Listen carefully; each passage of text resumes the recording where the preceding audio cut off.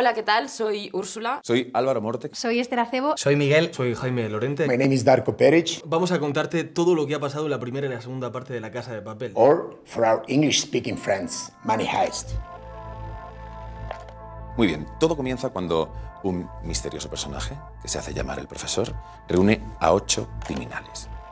El plan es entrar en la Casa de la Moneda y Timbre de España, tomar a 67 personas como rehenes y, literalmente, imprimir billetes hasta alcanzar los 2.400 millones de euros. Esos son como unos 2,7 billones de dólares. Pero antes de poner en marcha todo ese plan, la banda pasa aislada del resto del mundo varios meses estudiando cómo ejecutarlo paso a paso. ¿Cómo que cinco meses?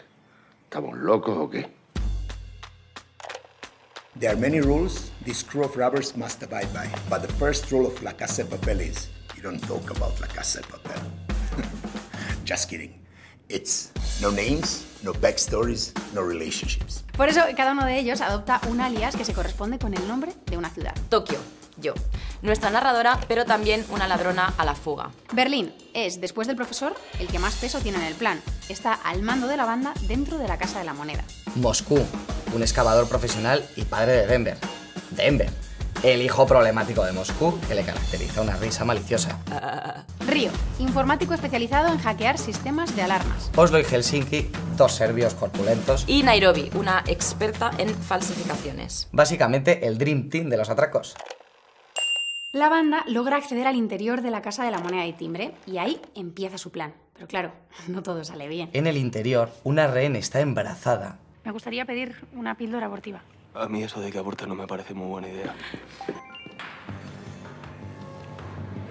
Mátala. Y en vez de dispararla, Denver se enamora de ella. Otra rehén, Allison, toma una foto con su móvil que permite a la policía descubrir la identidad real de Tokio y Río. Al mismo tiempo, fuera de la Casa de la Moneda, la inspectora al mando de la operación Raquel Murillo conoce a un hombre muy simpático que se presenta a sí mismo como Salva. Este hombre en realidad es el profesor. Okay, back to the heist. Cuando el profesor pierde la comunicación con la banda durante un largo periodo de tiempo, las cosas se ponen feas. Todos descubren que Berlín padece una enfermedad terminal Esperaba algo más sustancioso de un hombre al que le quedan, ¿cuánto? ¿Siete meses de vida? y que Denver en realidad no asesinó a Mónica. Además, Tokio es traicionada, entregada a la policía, lo cual lleva a Río a convertirse en un rehén.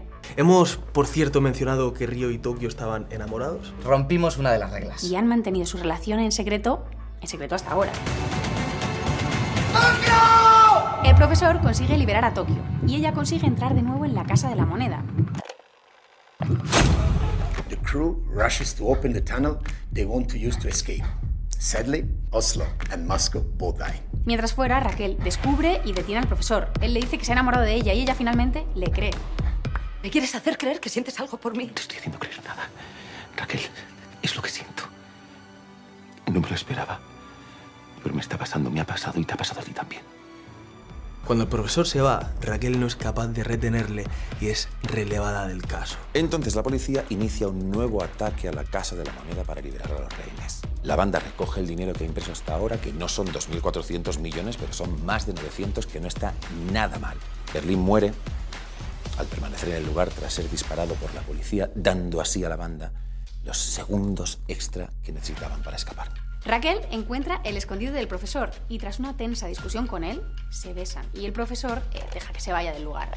Su relación es bastante, bastante confusa. Incluso después de que la policía arrestara a Raquel, ella se niega a decirles dónde está el escondite del profesor, hasta que la amenazan con quitarle a su hija. Finalmente Raquel les da la dirección del escondite, pero cuando los agentes llegan, ya es demasiado tarde. Un año más tarde, un comunicado anuncia que los ladrones huyeron con el dinero y que nunca fueron vistos de nuevo. Raquel mira las viejas postales que el profesor le dio y se da cuenta de que en una de ellas hay escritas unas coordenadas. Ella las sigue hasta llegar a Palawan, en Filipinas, y ahí está él esperándola. Y ahora ya sabes lo que ha sucedido en la parte 1 y 2 de La Casa de Babel. Ya puedes disfrutar de la parte 3 solo en Netflix, aunque yo las vería.